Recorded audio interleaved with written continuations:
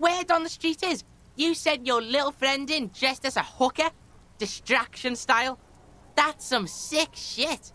Not a single muscle moves on the lieutenant's face. Cuno wants to hear all about it, but first we split the kilo, then we shoot the shit.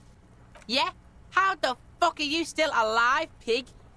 The lieutenant flashes you a sharp look, but doesn't say anything. Only his tightly closed lips betray the effort keeping silent takes him. Should we ever face a totally unrealistic scenario like this, you would make a much more convincing hooker, officer.